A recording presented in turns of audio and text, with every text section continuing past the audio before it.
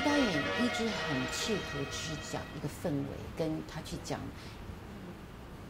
一个或是一个哲理是，啊，就他的东西还是比较内敛的东西比较多啊，然后他希望多一点的空间给观众自己去想哦啊，啊自己去看，比如就算像这样子，《山中传奇》是一个《聊斋》的故事，啊，它其实是用《聊斋》的一种写法去嗯。去写这个到底是真的发生还是假的发生。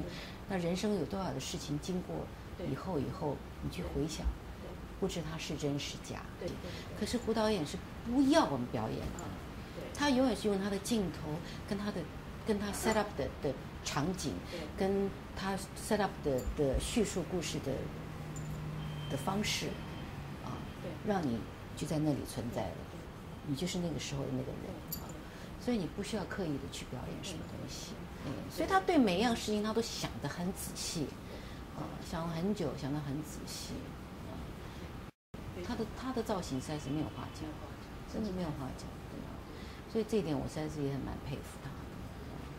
那不是有一场他们两个要接吻吗？对啊对啊对啊。那你知道石大哥是非常老实的对人，没错。然后他就说：“好，石俊过去亲他的耳朵，亲他什么东西？” 那石俊就很紧张，那个你看那个眼睛那个红丝都爆掉，那个维修感都爆掉了。嗯，就就趴在那边这样去，嗯导演等半天，然后就 cut。石俊，嗯，你在找什么？你在徐芳脸上找什么东西？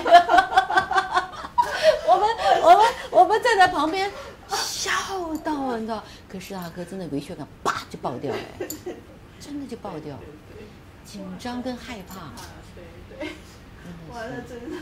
那真的是经典。对真的，因为我觉得胡导演讲的那是男人的一种侠义的精神，对。所以他为什么拍武侠片这么好看？嗯。因为他对一个真正武侠的这种男人对武侠的那种浪漫的那种对，的感情，是另外一种所谓的男女的感情。嗯。你知道，他觉得男人就是一个，其实男性跟女性不一样，男性就是比较动物性的嘛。对，可他不会去拍这个东西嗯，所以他就要拍那个隐藏在里面的那种所谓的侠义的的的的感情。对对。那就是当你遇到什么事情的时候，他就要出现了。